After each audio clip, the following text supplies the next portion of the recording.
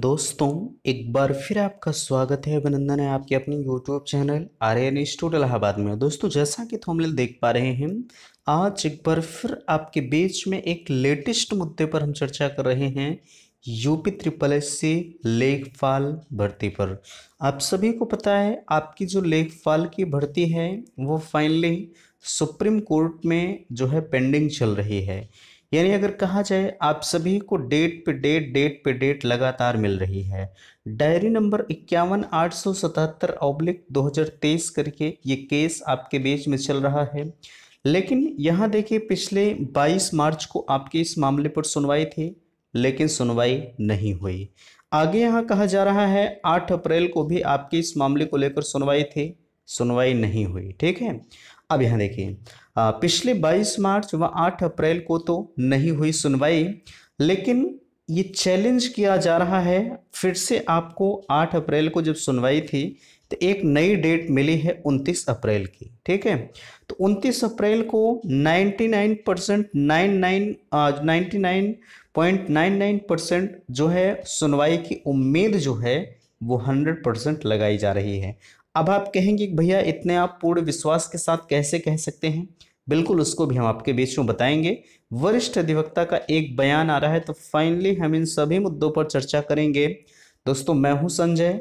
आप सभी का स्वागत करता हूँ, अभिनंदन करता हूँ आज के अपने इस वीडियो पर। मैं निवेदन करूँगा कि चैनल पर पहली बार विज़िट कर रहे हैं तो प्लीज़ चैनल को सब्सक्राइब ज़रूर करेंगे।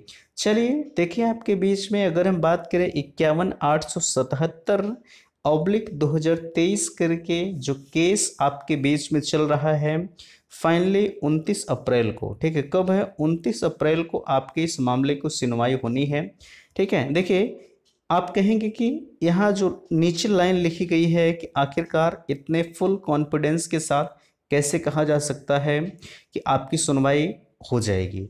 देखिए, ये हम अपनी तरफ़ से कोई भी बातें आपको नहीं कर रहे हैं, ठीक? पहली चीज़ ध्यान दीजिएगा, ठीक है? वरिष्ठ अधिवक्ता का बयान यही है, इनसे लगातार जो अभ्यर्थी संपर्क में है, ठीक है? उनके द्वारा इस बात को पूछा गया है कि सर बहुत ज़्यादा विलंब हो रहा है भर्ती पर, ठीक है? किसी से जो है किसी तरह से अगर हमारा मामला 29 अप्रैल को सुन लिया जाता तो बेहतर होता, ठीक है? तो इनकी तरफ़ से भी ये दावा किया गया है कि 99 परसेंट उम्मीद है कि आपका मामला 29 तारीख को फिनिश हो जाएगा। बाकी अगर हम बात करें जो है, आपकी किस्मत की तो भैया जो है पॉइंट वन परसेंट आप अपने किस्मत को लेकर चलें, ठीक है? क्योंकि एक समस्याएँ इन्होंने बता दिया है कि अगर दूसरी वाली पार्टी हमारे बीच में नहीं होती है, उनतीस अप्रैल को तो फिर से आपको एक नई डेट मिल सकती है। यही उन्होंने इस शब्द को कहकर लेकिन लगाया है। ठीक है? तो फ़िलहाल के लिए उम्मीद तो पूरा है कि 99 परसेंट आपके मामले को सुना जाएगा।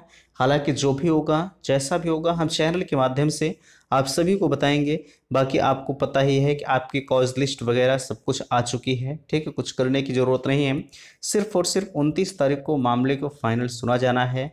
जैसा भी होगा, हम चैनल के माध्यम से, मैं बार बार आपसे कह रहा हूँ कि चैनल के माध्यम से आपको सारी जानकारी हम प्रोवाइड कर देंगे। ठीक है? तो फाइनली हम इंतज़ार करते हैं उनतीस तारीख, यानी उनतीस अप्रैल का जैसा भी होगा, आप चैनल पर बने रहिएगा। ठीक है तो फ़िलहाल के लिए वीडियो पसंद आया होगा तो प्लीज़ वीडियो को लाइक कीजिएगा शेयर कीजिएगा। और एक चीज़ मैं लास्ट में कहना चाहूँगा कि प्लीज़ जितने भी अभ्यर्थी हैं, अगर आप ज्ञापन सौंपने की मुहिम को जारी रख सकते हैं तो बिल्कुल आप ज्ञापन सौंप सकते हैं। ठीक है, क्योंकि आप ज्ञापन सौंपेंगे तो कुछ न कुछ उसका इफ़ेक्ट ज़रूर पड़ेगा। बाकी अगर 29 तारीख से पहले जो अब ज़्यादा दिन तो नहीं बचा हुआ है, ठीक है? हाँ अगर आप कल परसों की डेट में फाइनली आप जो है ट्विटर कैंपेन इत्यादि को करना चाहें तो बिल्कुल आप कमेंट करके मुझे बताइए, ठीक है? ताकि एक डेट निर्धारित कर दी जाए कि हाँ इस डेट को ट्विटर कैंपेन है।